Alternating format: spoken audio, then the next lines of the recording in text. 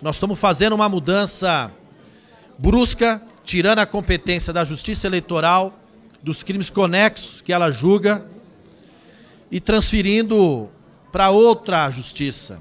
Ora, isso essa casa tomar essa, essa medida sem um, sem um debate mais amplo, essa comissão, nós podemos estar votando de afogadilha de maneira equivocada. Quem? Senhor presidente, foi colocado aqui que seria uma mudança muito drástica no nosso sistema de justiça e isso não é verdade. Aliás, assusta que ainda na Comissão de Constituição e Justiça você tenha parlamentares que opinem sem ter lido o projeto.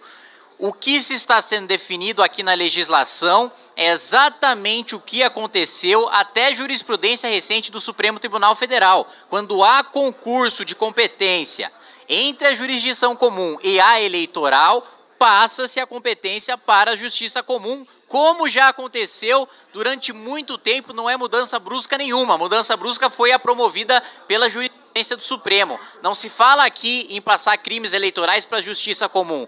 Se fala em concurso de competência. E aí sim passar competência para a justiça comum. Democratas orienta não.